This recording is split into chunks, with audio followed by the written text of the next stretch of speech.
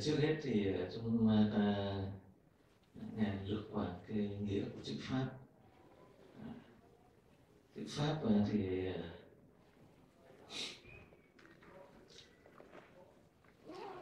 thông thường trong đạo Phật nói là những gì Đức Phật nói thì gọi là pháp. Tức là cái Đức Phật nói thì gọi là pháp. Bây giờ mình nói mình hỏi rằng là ví dụ à, Đức Phật hỏi một người đệ tử à, có khỏe không? Cái đó cũng là pháp mà. Đúng vậy Thành ra Đức ờ, Đức Phật thường nói câu là cái pháp thông thường của chư Phật. À, khi mà gặp một đệ tử đến đảnh lễ thì cái pháp thông thường của chư Phật là sẽ hỏi thăm. Như vậy. Nên dùng chữ là cái pháp thường pháp của chư Phật cái pháp thông thường của chư Phật. Thì như vậy cái chữ pháp vậy thì nó là cái cách từ cái cách đối xử đối đãi à, à, bằng thân bằng khẩu của Đức Phật đối với những người xung quanh. Thì nó đều thuộc về pháp của Phật. Dĩ nhiên con người của mình à, như vậy nên mình cũng gặp nhau mình cũng hỏi thăm. Hỏi thăm anh có phải không? Như vậy thì nó có phải là pháp của Phật không? Thì giờ nó mới là cái câu mà những gì Phật nói ra đó là pháp cho nên à, mình nói chứ không phải Phật nói. Thành ra là đó là pháp của mình, không phải pháp của Phật. Nhưng mà nó cũng là một câu hỏi thăm, nhưng mà nó từ Phật ra thì nó thành là pháp của Phật. Ừ. nên là cái nghĩa là ở chỗ là bởi vì Phật là bậc giác ngộ. Mình không có biết rõ được là giác ngộ thì cái người giác ngộ ăn nói đi đứng ra thế nào? Cho nên à, mình phải dựa vào một cái bậc giác ngộ. À, mình nhìn xem cái bậc đó ăn nói làm sao đi đứng như thế nào. À, thì mình có thể hiểu được à đó là cái pháp của bậc giác ngộ. Đó là cái pháp của Phật thế thì mình thấy Phật có nhiều cái pháp mà mình cũng có ở trong cuộc đời cũng như hỏi thăm. Phật cũng có mình cũng có. Ừ. thế thì mình biết là vì vậy đó, cho nên bậc giác ngộ tâm giác ngộ cũng có sự đối xử với mọi người xung quanh. Thế mà vậy ấy, thì mình cũng có sự đối xử với mọi người xung quanh nhưng mình khác nhau ở chỗ nào? Thì nó khác nhau cái chỗ là Phật hỏi thăm bằng tâm giác ngộ mình hỏi thăm bằng cái tâm tình cảm văn hóa đối đãi. Thế cho nên à, mình thấy là như vậy á à, những cái pháp những cái hành động những cái đối xử nó xuất phát từ tâm giác ngộ thì nó đều trở thành ra là pháp của giác ngộ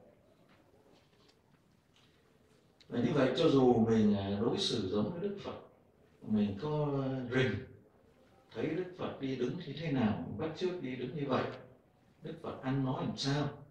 Thì Đức Phật nói hơi mỉm cười một chút mình cũng bắt chước đúng hệt như vậy thì nó vẫn không phải là cái pháp của Phật. Bởi vì nó xuất phát từ một cái tâm ăn cắp copy à, nó phải tâm giác ngộ nên vì vậy à, mình hiểu được điều là à như vậy là có nhiều cái pháp mà nó được kêu là pháp Phật bởi vì từ Phật mà ra. Từ Phật có nghĩa là từ cái tâm giác ngộ mà ra. Nên nói thông thường Phật không sát sinh mình cũng không sát sinh nhưng mà hai cái không sát sinh nó khác nhau. Một cái không sát sinh thuộc về pháp Phật một cái không sát sinh nó thuộc về cái pháp thiện của con người vì thế à, mình biết rằng là như vậy thì ờ, pháp Phật là những cái pháp mà từ Đức Phật hiện ra mình có thể thấy được. Và sở dĩ nó trở thành là một cái pháp của giác ngộ bởi vì cái bên trong cái tâm thức bên trong là tâm thức giác ngộ. Cho nên mình thấy cái bên ngoài nhưng mà mình không thấy được cái giác ngộ bên trong nó là gì hết. Mình không hiểu cái tâm giác ngộ nó ra làm sao. Cho nên mình à, những cái mình thấy được thấy thấy bên ngoài được thì đôi khi mình thấy nó giống với cái pháp thế gian của mình. Nhưng còn cái ờ, làm cho nó thành khác tức là cái tâm giác ngộ bên trong của đức phật thì mình chưa có rõ. Thành ra những cái pháp mà tức là nó nằm ở phía bên trong cái tâm tức là cái tâm thức như vậy nó có những cái hoạt động như thế nào? Một cái tâm giác ngộ nó, nó thuần thiện vô cùng mà nó trong sáng vô cùng cái phần trong sáng đó nó là kêu là trí huệ. Cái phần thuần thiện đó nó kêu là công đức. À, còn lại một cái phần nữa mà làm cho mình phải quy kính và làm cho Phật là khác với các các bậc giác ngộ khác đó là cái đại từ bi cái lợi ích của cứu độ tất cả chúng sinh. Thế nên như vậy mình biết rằng là khi mình nói mình hỏi thăm một người à, Bây giờ mình nghe một cách tổng quát mình hỏi thăm một người anh có khỏe không? Thì đó đôi khi là một câu xã giao đôi khi cũng là một cái tình cảm chân thật thân thiện à, đôi khi nói cái việc thôi. Đấy ở bên trong thì đang chửi. Đó. thành ra nó, nó có đủ hết. Nhưng mà khi mà Phật nói câu đó là Phật nói với tâm giác ngộ với trí huệ. Phật nói với lại cái công đức chân thật. Và Phật nói với cái tâm đại từ bi. Thì mình mới biết rằng là do đó cho nên cái hỏi thăm, cái pháp đó, thế gian cũng có, Phật cũng có. Nhưng còn những cái pháp đại từ bi, trí huệ, công đức thì hầu như là mình không có cho nên vì thế là mình biết rằng là pháp Phật có cái mặt ngoài đôi khi trong sự đối xử nó giống với thế gian. Cho nên Đức Phật có nói là tất cả những cái pháp thiện của thế gian ta đều chấp nhận. Ta chấp nhận nó là thiện. À, nhưng mà còn những cái pháp bên trong à, ví dụ mình nói là trí huệ thần thông thiền định tăng muội tất cả những cái đó, đó thì à, mình phải nghe thì mình mới biết một từ bi của Phật cho đến đó. Thì mình phải nghe mình mới biết phát tâm như thế nào và thực hành như thế nào. À, cái tâm thức nó cho đến à, thời gian bao lâu thì người đó chứng quả. Như vậy thì à, nói pháp Phật đó, thì mình hiểu là từ Phật nói ra. Đặc biệt là những cái hành động bên ngoài đối xử ai cũng có thể hiểu mà nó đã là của Phật không phải của mình của thế gian. Uống gì những cái pháp bên trong, làm sao ai hiểu? Cho nên Đức Phật phải nói những cái pháp nó ra. Cho nên Đức Phật nói về sự à có thể nói rằng là các phẩm chất công đức à, của cái tâm thức giác ngộ. Và khi Đức Phật nói ra như vậy là mục tiêu là để làm gì? Mục tiêu là để cứu khổ cứu độ cái khổ đau của con người. Thế nên vì vậy tất cả những cái pháp mà đó của Đức Phật, mà sau này mình mới hiểu là, ví dụ như Đức Phật vẫn có những cái nói à, dịu dàng, ái ngữ, nó nằm ở trong cái tâm là để mà đại bi, nhiếp độ, và nó dùng như là một phương tiện. Đây Đức Phật phương tiện như vậy à, cái người đó người ta càng thấy cung kính an tâm nương tựa. À, tăng trưởng cái sự nương tựa đó lên. Thì Đức Phật mới gọi là nhiếp người ta. Là làm cho người ta nghe theo. Là nhiếp làm cho người ta quy kính về mình nương tựa về mình. Thì mới gọi là nhiếp. Nhiếp như vậy đó, thì rồi Đức Phật mới nói cái pháp bên trong ra. Đó. nói những cái pháp bên trong ra để khai mở cái tâm trí tâm thức cho người đó vì vậy à, mình thấy cái ra pháp của Phật à, thật sự là nhiều. Và có những pháp mà rất nhiều phương tiện để mà nhiếp chúng sinh. Và có cái pháp là chính thức là khai mở tâm trí của chúng sinh để dẫn dắt cái tâm nó đến cái chỗ nó phát được cái năng lực giác ngộ giải thoát khỏi khổ đau. Thì ra như vậy đấy là mình đi nghe pháp thì dĩ nhiên là mình là cần những cái pháp là phương tiện ở bên ngoài trước tiên. Tức là mình gặp một ông thầy nói pháp, ông thầy hỏi chứ ông thầy là chứ à, tụi bay có ngồi yên chưa? Mình có nghe nghe nghe nó kỳ quá, nghe kỳ quá. Đấy. rồi ai hỏi cái gì mà chứ mình la mắng này nọ gì mà thôi cái ông thầy này không sao á. Ừ. Thành ra trước tiên nó phải có một cái à, đối đãi đối xử cái mặt bên ngoài nhưng mà cái mặt bên ngoài đó của thế gian của mình ấy là nó chỉ là một cái văn hóa rồi tình cảm thôi. Còn cái của đức phật đó, nó là để nhiếp người ta và để độ người ta.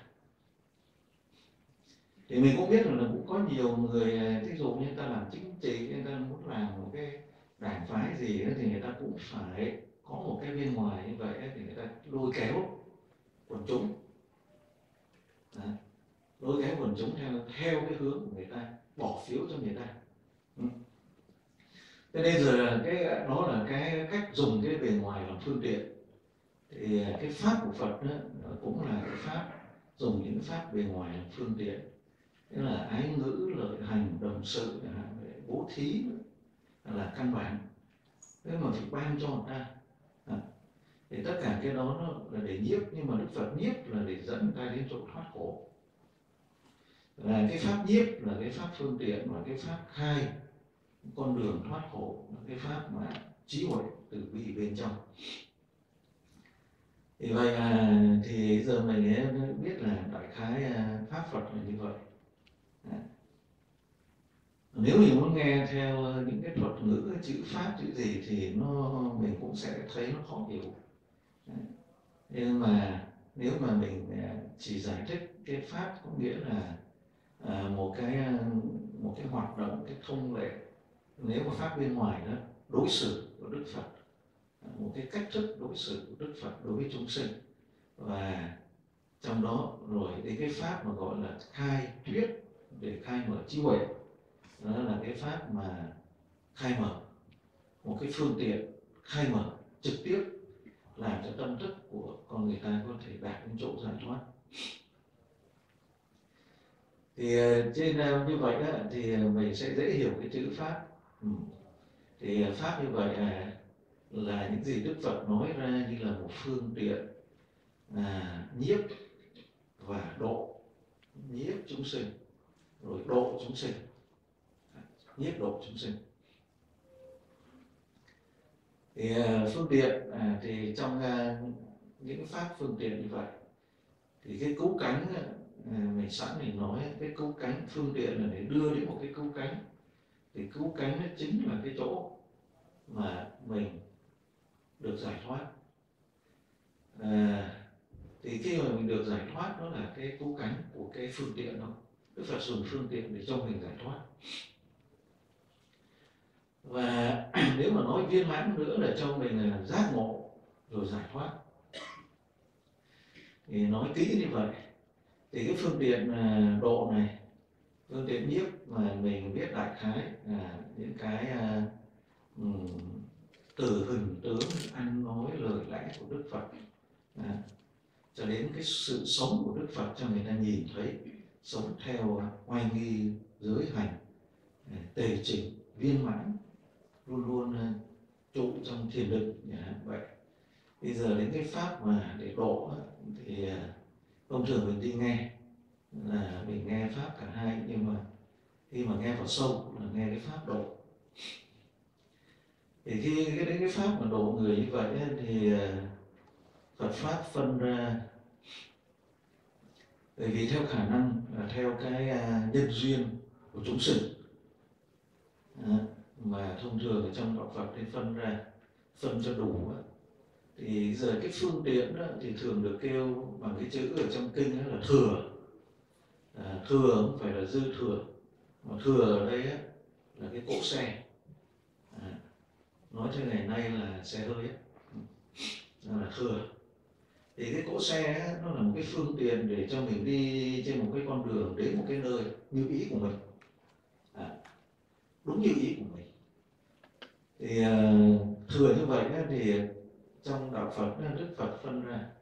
thì cái thừa mà những người nào mà muốn sung sướng muốn thoát khỏi những cái khổ những cái khổ kinh khủng đoạn đời à, của sự hành hạ mà đạo Phật thường nói ra đó là địa ngục ngạ quỷ súc sinh.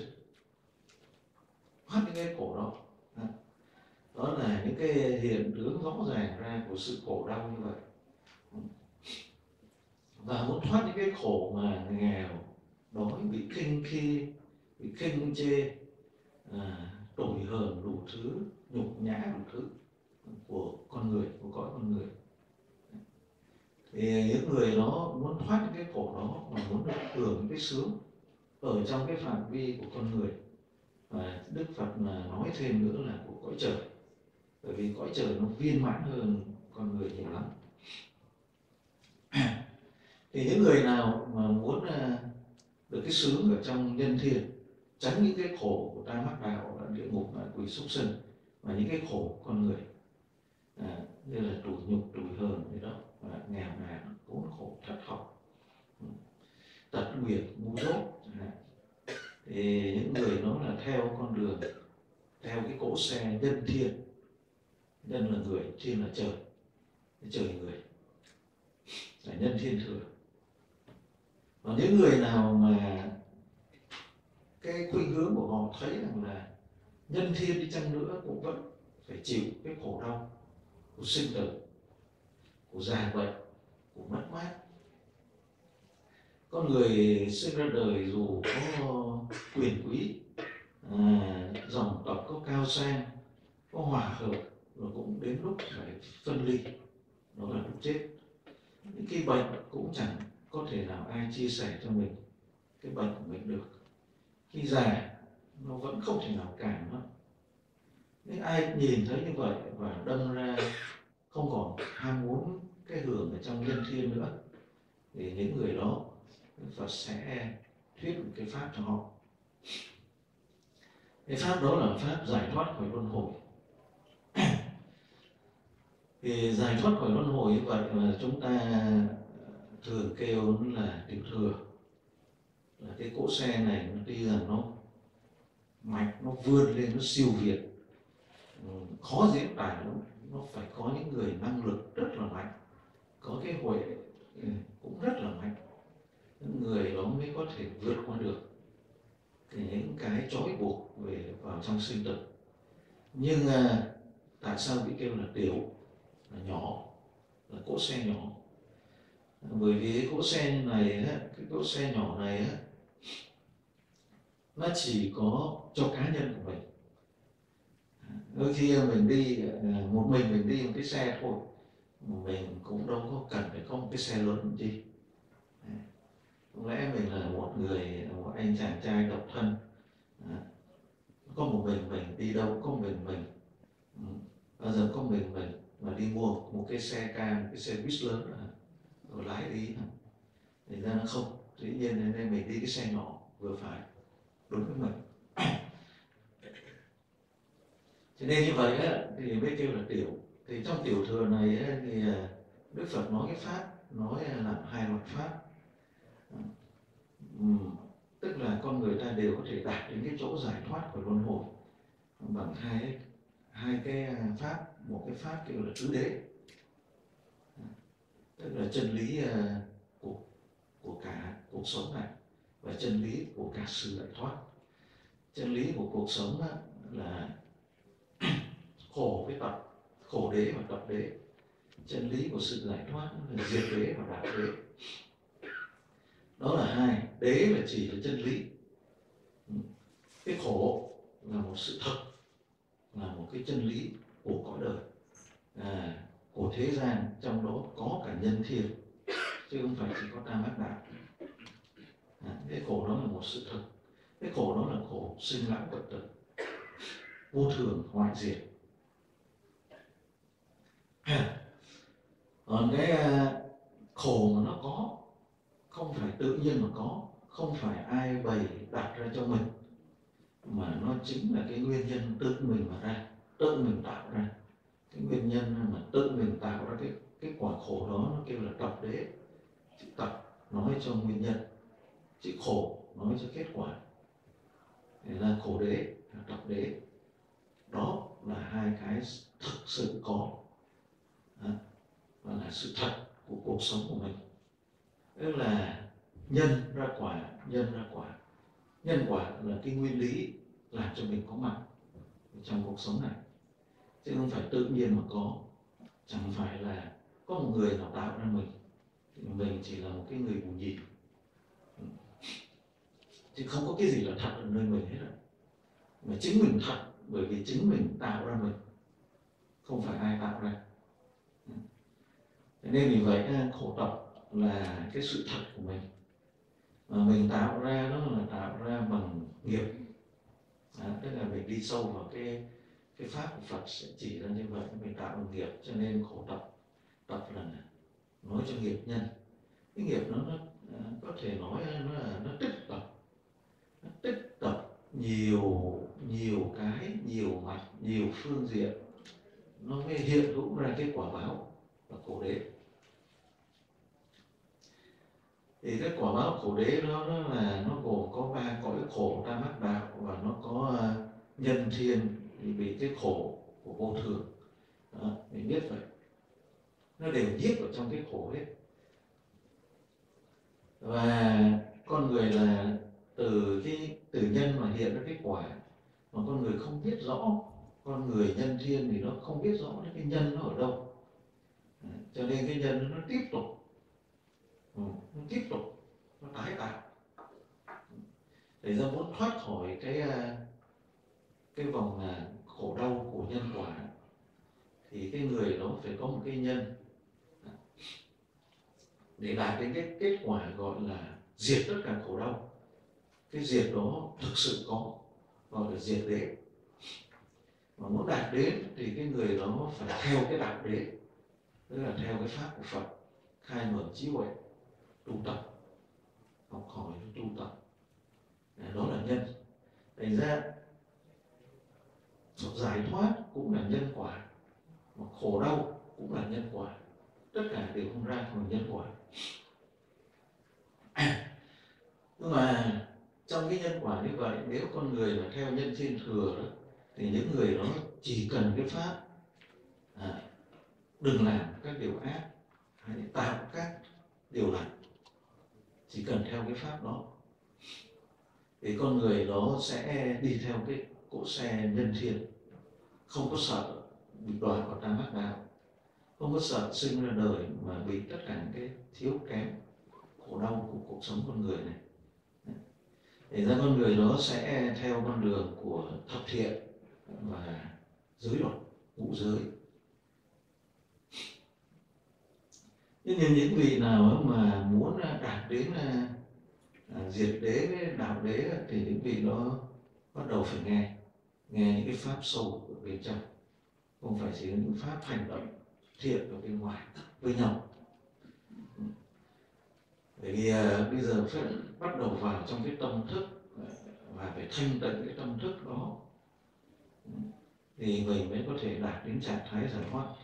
Bởi vì tất cả những cái lực gọi là nghiệp lực ấy, mà nó làm cho mình phải tái sinh ấy, nó đều chứa ở trong tâm hết nếu mình không nhận ra nó mà không có nhìn lại vào trong tâm, không có một cái cách nào để mà thanh tịnh nó, xóa bỏ nó đi, thì sau khi mình chết, những cái nghiệp lực nó tác động, nó kéo dẫn, hiện ra những cái đời sau. Thì ra nhân chính như vậy mà đức phật mới bắt đầu khai đạo để chứng được cái quả là diệt, là tịch diệt niết bàn. Giải thoát khỏi khổ đau gọi là niết bàn thì khai đạo như vậy đức phật khai hai. Một là nói về tứ đế, hai là có một cái pháp gọi là nhân duyên. Mà chúng ta cũng thường nghe là thập nhị nhân duyên. Khi đức phật giác ngộ với gốc cây bồ đề là quán. Cái sự hiện hữu này nó là duyên khởi. Nó là duyên khởi đó. cái chữ nhân duyên nó có nghĩa là không có một cái pháp nào nó tự, nó nó có hết. Mà nó lạ lùng là nó có là ở trong cái liên hệ với nhau mà có thì mình thì mình cứ nghĩ là muốn có liên hệ thì mỗi cái pháp nó phải có trước, rồi nó mới đi đến cái chỗ liên hệ cũng như tôi có, mẹ tôi có, ba tôi có rồi anh em tôi có, rồi ha cả gia đình mới tụ lại với nhau nên nó thành một cái liên hệ dính líu ừ. cũng như vợ phải có, chồng phải có, rồi gặp nhau rồi nó mới này tu lại như vậy nó mới thành cái dính líu của vợ chồng. À, nhưng mà khi mà nhìn vào cái chân lý duyên khởi nhìn vào chân lý duyên khởi ấy, mà nhìn cho nó ra cho nó thấy ấy, thì lúc bây giờ ấy, là hoàn toàn trước khi mà có vợ chồng thì không bao giờ có vợ hay có chồng. Trước khi mà có cái gia đình không bao giờ có cha mẹ anh em con cái hết. Cho nên cái chân lý ờ, về duyên khởi nó cần phải được nghe. Không thôi, con người mình thấy rất khó hiểu. Bởi vì theo cái hiểu của mình, thì mình sẽ thấy là mọi cái nó phải có, rồi nó mới có liên hệ với nhau. Nhưng mà cái lý duyên khởi thì nó lại là ở trong cái nguyên lý đó, mỗi cái nó mới thành là nó có à, và nếu ai mà giác ngộ ra cái lý duyên khởi đó thì người đó có thể nói là không cần phải trải qua cái tứ đế. Người đó sẽ thực sự trực tiếp giác ngộ. Không cần phải trải qua cái lý tứ đế là không cần phải đi nghe đức phật thuyết pháp. Mà người đó có thể gọi là chỉ cần nếu mà con nghe thì chỉ cần nghe cái lý duyên khởi à, có nhiều người không nghe nữa nhưng mà nhìn thấy xung quanh nhìn thấy tất cả không cái gì nó tự có mà nó ở trong duyên khởi nó hiện hữu ra thì người đó đều giác ngộ. Những người giác ngộ theo duyên khởi được kêu là duyên giác. Các bậc thánh là sau khi mà giác ngộ vào trong à, gọi là một là vào trong à, đạo đế thì các vị đó vượt ra khỏi cái thường tình của thế gian nên kêu là thánh. Thì các vị mà theo duyên khởi và giác ngộ vậy thì được kêu là duyên giác. Những vị mà không không nghe nơi đức phật nữa à, tức là không học nơi đức phật mà tự mình thấy ra cái duyên khởi thấy ra ở trong kinh nói là một vị đọc giác phật đó, thấy lá rơi một cái giác ngộ. Nhiều khi nhìn nước chảy một cái giác ngộ thấy cái lý duyên khởi. Thành ra cái thấy đó nó không phải thấy theo cái tâm thức của mình, của con người bình thường. Cái thấy nó ở trong một trạng thái mà đạo Phật kêu là trí.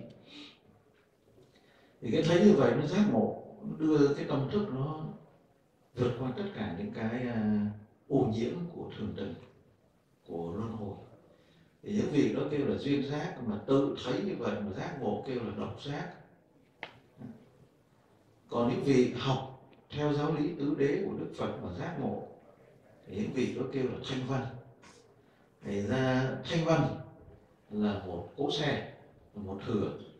Duyên giác với độc giác là một thừa. Người ta thường gọi chung là nhị thừa là hai thừa. Thành ra nó có nhân thiên thừa, rồi có nhị thừa, thanh văn, duyên giác, ba. Rồi có bồ tát thừa và phật thừa là năm. Đôi khi người ta phân ra là năm thừa. Vậy theo một tông thì còn phân ra ở trong mặt trong nữa mà đôi khi có thể đến trí thừa. Và theo chiều sâu của trí huệ. Nhưng mà thông thường thì là phân năm thừa như vậy. Thì phân năm thừa như vậy là nhân thiên thừa thanh văn thừa à, duyên giác hay là độc giác thừa. Thì gọi là nhị thừa. Nhị thừa là thoát khỏi luân hồi à, theo xu hướng đó đức phật dạy những cái pháp về vô thường khổ và dạy cái pháp duyên khởi. Tất cả không thực có chỉ do duyên hiện ra. Cho nên không có nắm bắt được vào đâu. Không có một cái gì là có kể cả mình cả người cả thế giới xung quanh. Nó hiện hữu như vậy. Nếu mà mình có cái gốc cái gốc mà của cái duyên khởi này ấy, thì chỗ vọng và chỗ giác nó nằm ở nơi chỗ gọi là vô minh. Nếu mình cái tâm của mình á, nó không thấy được chân lý duyên khởi tức là vô minh. Thì lập tức nó hoạt động nó vọng ra tất cả những cái hoạt động nghiệp là với nhau. Nó thấy người có ta có nó hoạt động. Nó thấy à, mình có của mình có. Nó phát sinh ái nhiễm hoạt động rồi nó thành ra là các thế giới luân hồi. À, nếu mà mình mà có cái trí nhìn được à, chấm dứt được cái vọng. Thấy ra cái chân lý duyên khởi. Thì lúc bây giờ là tất cả các cõi luân hồi nó chấm dứt. Nên như vậy đó là duyên giác à, độc giác. Hai cái đợt có đó hai cái thừa đó, đó là đức phật khai mở cho cái chân lý để mà à, gọi là hiển lộ ra được cái cái trí cái năng lực trí từ tâm thức. Cái năng lực trí này nó thanh tịnh và nó làm tất cả những cái phân biệt chấp trước.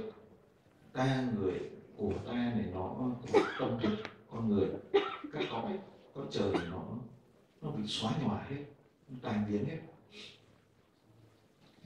Cho nên như vậy à thì các vị thanh văn thì nghe cái khổ tập phát lên cái tâm chán ngán.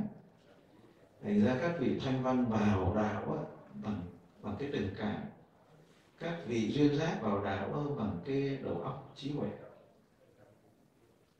Các vị thanh văn là đức phật khai cho cái khổ tập, thấy cuộc sống, thấy tất cả những cái thành quả sung sướng của nhân thiên thừa đó, nó đều ngao ngán hết. Không mong cầu một cái cái quả sung sướng nào ở trong cái cõi luân hồi nữa. Cái tâm ngao ngán nó thuộc về tình cảm tâm thấy khổ đế nó, nó ớn ngán nó nó mới thoát liền nó buông xả hết tất cả này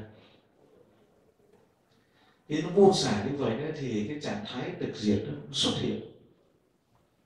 Thành ra một đàn đi nhập vào đạo qua cái tình cảm một đàn nhập vào đạo qua cái lý trí. Thành ra đức phật khai cái pháp nó theo hai cái khả năng đó của con người và những người đó là những người mong muốn thoát luân hồi. À, đức phật không bao giờ nói cái pháp đó cho những người mong muốn được sinh cõi người với cõi trời. À, nhưng mà nếu muốn nghe thì đức phật cũng cho nghe. Nhưng mà đức phật là không cần thiết. À, bao giờ mình nghe mà mình à, tự nhiên mình cảm thấy mình chuyển tâm mình không có muốn thích cái luân hồi nữa thì mình có thể đón nhận cái pháp kia.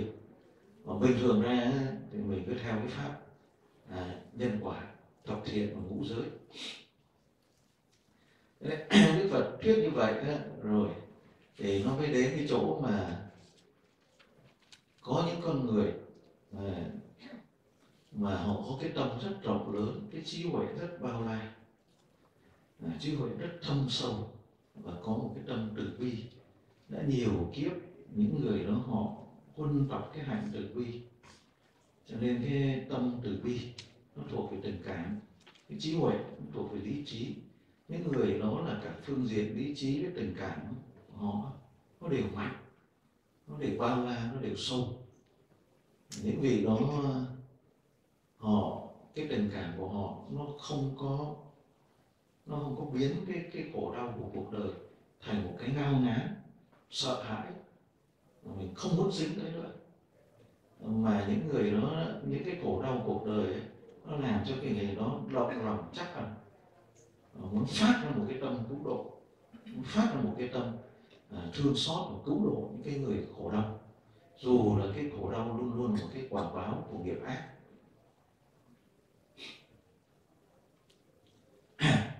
Thì à, những vị đó lại có cái trí huệ để biết rằng là muốn cứu cái khổ đau là phải cứu cái nhân chứ không có xử cái quả được.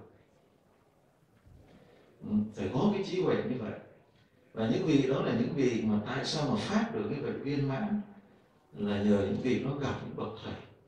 Tức nói cách khác những vị đó là các bồ tát. À, gặp các bậc thầy là các bậc chính đẳng chính giác các vị phật ở trong quá khứ. Khai mở hướng dẫn. Và đôi khi cái bước đầu tiên chỉ là cái hâm mộ cái vị phật. Thấy phật tự nhiên tâm nó thấy là đây là cái con người duy nhất trên thế gian mình phải nương tựa. Như là trong kinh ờ,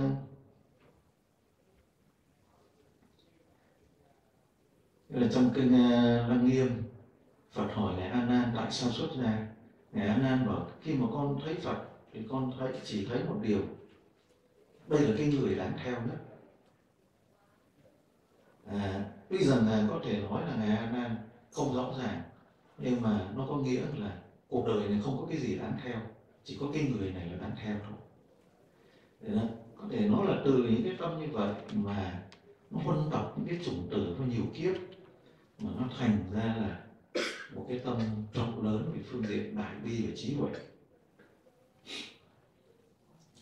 Thì những vị nó lại thực hành cái cái tâm thức đó nó, nó thúc đẩy những vị nó thực hành những cái hành về từ bi trí huệ đôi khi phải chịu hy sinh cho đến hy sinh cả thân mạng. Đấy, những vị nó trải qua những cái đó và những vị nó tích tập được những cái công đức như vậy thành ra phần công đức nó cũng rất rộng lớn. Thì những vị nó thấy rằng là cái à, cái thanh văn thừa đó nó quá nhỏ bé. À, nó chỉ nghĩ đến mình. Cho nên những vị đó nó muốn nghĩa là phát triển cái khuynh hướng của mình đến mức viên mãn đức phật mới thuyết cho bồ tát đạo bồ tát pháp. Đức phật mới khai mở cho trí bát nhã à, khơi dậy cái đại bi tâm đại bi rộng lớn đó, đó và đẩy các vị đó bằng hai cái trí huệ và từ bi đó vào trong cái con đường bồ tát đạo cái con đường vào trong cái khổ đau của chúng sinh mà độ mà làm lợi ích và cứu độ nên vậy nó mới thành ra cái thừa thứ thứ ờ, ba vậy. Và mình có thể nói nếu mà cái nhị thừa phân làm hai thì đây là thừa thứ tư. Ờ, thứ tư đó là bồ tát thừa. Thì bồ tát thừa mới đi trên cái con đường là như vậy á, con đường hành đạo vì người, cứu độ người như vậy. Thì đức phật phải khai mở và phải nói rất nhiều pháp. Tại vì muốn cứu độ chúng sinh á, thì chúng sinh có vô lượng vô biên cái khuynh hướng bộ mặt khác nhau. Bồ tát phải thực hành nhiếp tất cả. Cho nên bồ tát phải học tất cả những cái pháp để đáp ứng pháp môn vô lượng là vậy đáp ứng cái căn tính của chúng sinh. Và bồ tát phải chịu đựng tất cả những cái khổ nhọc ở trong luân hồi chứ không có lấy cái, những cái công đức của mình, những cái nhân công đức của mình để hưởng một cái quả cõi trời. Nên bồ tát mới dành hết tất cả những cái công đức đó, nó hồi hướng về cái à, trí vô thượng bồ đề, tức là về cái phật quả. Thành ra như vậy à cái quả của bồ tát à, thừa chính là phật quả. Và cho đến cuối cùng khi mà thành phật thì lúc bây giờ à, tất cả những cái mà phật hoạt động hành động khai mở cho chúng sinh như lúc đầu mình nghe. À, từ cái hành động, từ lời nói bên ngoài cho đến tất cả những cái à, trí sáng suốt à, và những phẩm công đức ở đại bi bên trong, đều đầy đủ và thực hành vĩnh viễn sự cứu độ chúng sinh. Thì như vậy mình biết là đó là để nói đại khái lược qua cái pháp của đức phật thế khi mà mình là một người có duyên để được phật là mình đi nghe pháp nghĩa là mình nghe những cái pháp như vậy. À, cái pháp căn bản đầu tiên mình nghe là nhân quả luân hồi là nhân thiên thừa.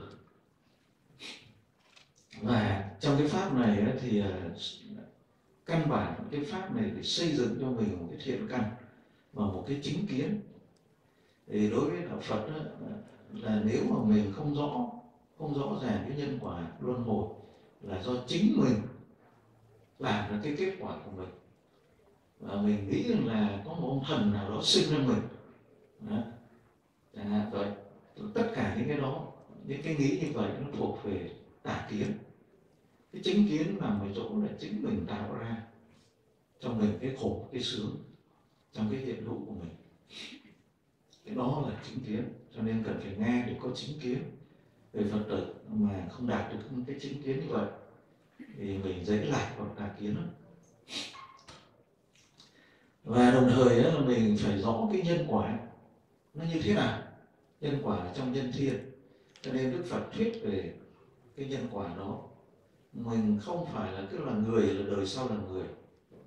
À, đời sau mình có thể thành địa ngục ngạ quỷ súc sinh nhân thiên. Cho nên mình phải nghe về nhân quả như vậy để mình biết mình mới có cái chính kiến về nhân quả. Nên cái người đời mình thường nghĩ à, tôi chết này ví dụ như người ta nói à, ví dụ như bên à, Trung Quốc người, người ta thường nói người chết là thành thành ma thành quỷ. À, còn mình xưa nay mình cứ nghĩ thông thường là chết cái xuống địa ngục. À, rồi sau này có nhiều người ảnh hưởng khoa học nó nói chết là hết không có gì nữa hết. À, nhưng mà cái ai mà đã có tin chết còn thì cứ nghĩ là chết xuống địa ngục rồi chấm hết. À, nhưng mà đức phật nói là đều sai lầm hết. Cái sự tái sinh của mình mà nó thành luân hồi nó có những cái chỗ để cho mình tái sinh. Nó ứng theo nó là những cái quả nó sẽ đáp ứng là với cái nghiệp nhân của mình tạo ra. Nên nó là quả báo. Mình có những cái nghiệp mình tạo nghiệp ác như thế nào nó vào địa ngục tạo nghiệp ác thế nào nó vào ngạ quỷ súc sinh. Tạo nghiệp thiện như thế nào nó vào cõi người tạo như thế nào mà cõi trời? Mình tạo những cái nghiệp thuần thiện là ở trong cái tâm thất của mình. À, gọi là thiền định ấy, thì mình sinh vào các cõi trời của thiền định. Nó có như vậy cả thầy là ba cái cõi luân hồi ba cõi hữu như vậy. Để ra đức phật khai cho mình thấy tất cả vậy. Và những cái cõi đó mình muốn tới mình nên làm cái nghiệp như thế nào? Nên thông thường là người phật tử mình ấy mà mình không có không có quan tâm đến cái luân hồi và không có quan tâm đến cái đời sau. Quả thực là nó thiếu sót lớn vô cùng. Mình sẽ không có được cái chứng kiến về nhân quả, không có chứng kiến được nhân quả luân hồi. Mình không có hiểu rõ. À, đôi khi mình có thể nói thì Phật nói thì con tin, nhưng mà mình không có chịu tư duy. Phật nói mình văn tư, tu văn là nghe nghe là phải tư duy ở đây đôi khi mình nói nghe địa ngục ngạ quỷ súc sinh thì thôi mình cũng bỏ qua hết. Và lắm lúc mình đang làm một cái nghiệp ngạ quỷ đang làm một cái nghiệp súc sinh mà mình không có hay biết. Để ra lắm lúc như vậy á, đối với đạo Phật nếu mình sống là một người Phật tử à, muốn à, đừng khổ mà không tin nhân quả thì chắc chắn không phải là người Phật tử nữa nếu mà tin nhân quả mà không có nghĩ gì đến đời sau hết, chỉ nghĩ đến đời này thôi, thì cái đó thiếu sót lớn vô cùng, không bao giờ mình lập được cái thiện căn hết. Mình phải biết cái đời sau của mình nữa. Nhưng một người sống ngày hôm nay, đêm ngủ, ngày hôm nay sự, nó tượng trưng cho sự sống, đêm ngủ tượng trưng cho sự chết, ngày mai là tượng trưng cho sự tái sinh thì người mà chỉ biết sống hôm nay không cần nghĩ ngày mai. Thì quả thực, nó chỉ có các thiền sư giác ngộ. Còn ngoài ra nó là kẻ si hết và đều là những kẻ hư hỏng. Không hư hỏng thì là người ngu muội. Cho nên không nghĩ đến cái nhân quả đời sau, con người mình nó không có tinh tiến, nó không có được khai mở, nó không có tiến sâu vào trong đạo được. Nếu mình chỉ nghĩ ngày đời này rồi mình không nghe cho nó kỹ thì mình không có biết rằng là cái hành động hàng ngày của mình á nó có thể dẫn mình đến những cái chỗ nguy hiểm. Để mình không biết nhân quả à, người nào cũng tự tin mình là cái người tốt dù mình nói tốt vừa phải nhưng mà mình là người tốt. À, bằng chứng là ai nói mình xấu là kẻ thù của mình á. À, mình phải tốt người nào khen mình tốt thế mình bảo ồ đây đúng là tri ân tri kỷ. Nhưng mà thực sự ra là đức phật mình nhìn là trong cái tâm thức của mình nó đầy những cái nghiệp của địa ngục này của súc sinh hết mà mình không có nhận rõ. Cho nên nếu mình không có đi nghe pháp mình sẽ không có nhận ra cái đó. Mình có thấy. Thì khi mình nghe pháp mà nó rõ ràng á, rồi ấy, thì cái sự quy kính của mình về tam bảo cái tâm thọ giới thọ thực thiện của mình á, nó mới được củng cố vững chắc mạnh mẽ. Con người mình mới quyết liệt trên cái con đường à, lìa ác hành thiện. Nó thôi á, là mình chỉ biết trước mắt đó là tất cả cái tình cảm của thế gian này á, nó làm chủ con người mình hết. Chủ hết tình cảm à, cha mẹ con cái anh em chị em này nọ. À, à cả cuộc đời của mình ấy, cho đến tóc bạc phơ. Này cũng chỉ có lo mấy chuyện đó. Mà đổi ai cũng chết mà không biết đi về đâu. Chẳng biết những người đó đi về đâu mà mình sẽ đi về đâu. À, không có ai buồn lo cho ai được về cái đời sau của người đó. À, nên thực sự là mình là những cái người mà rớt à, từ trên núi cao rớt xuống này máy bay nổ rớt xuống mà không có dù xong rồi nắm chặt lấy nhau ôm nhau thương xót nhau rất bịch bịch bịch bịch bịch bịch. À, kêu thầy trừ phước đến trùng kinh hết. Ừ. như vậy á. Rồi trong lúc như vậy mình nghĩ đó là những cái hành động tốt đẹp nhất của cái đời sống của mình. Nhưng mà mình phải tự lo cho mình. Bởi vì tự mình tạo ra cái khổ cái đau cho mình. Cho nên không ai cứu mình được. Đức phật cứu một cách khai mở cho mình thôi. Mà mình không nghe cái lời khai mở đó thì mình chịu lấy. Thực sự à, cho nên mình cần nghe pháp là cần nghe những cái điều đó. Chứ đừng có thấy là cái trong cái kiếp này của mình mình sống sung sướng mình thành công những người xung quanh cũng như vậy. Và cứ lo hưởng những cái đó cứ lo tình cảm trong đó. Mà không biết rằng những cái đó nó sẽ hết đi mà mình còn là cái gì để mình đi về đâu trong đời sau. Rồi cứ lo lo lo lo trong cái đó thôi. Cho nên thì vậy đấy đi nghe pháp là để như vậy. Vì thế mà nếu không biết à, nhân quả và không biết nghĩ đến đời sau á, con người nó không có lập được cái thiện căn. Thiện căn thì nó lòng lẻo lắm. Hơi mùi lòng một chút là thiện căn tan đấy cho nên dễ bị dụ lắm. Dụ xong biết nó lừa rồi mình tức chửi om sòm hết. Lại thù lại hận. Vậy thôi. Nên vì thế mà mình hiểu đạo Phật nói đó cái căn bản của chúng sinh nó phải như vậy mà một khi mà đã muốn cái người mà thấy muốn giải thoát của luân hồi, người ta mới kêu cái con đường giải thoát nó nó là đúng là đạo. Còn nhân thiên thừa chưa hẳn đã là đạo. À, chỉ mới là sướng trong cái cuộc đời này thôi. Mà đại học mà không có thấy vô thường mới khổ thì không có bao giờ có thể vào chứng đạo hết.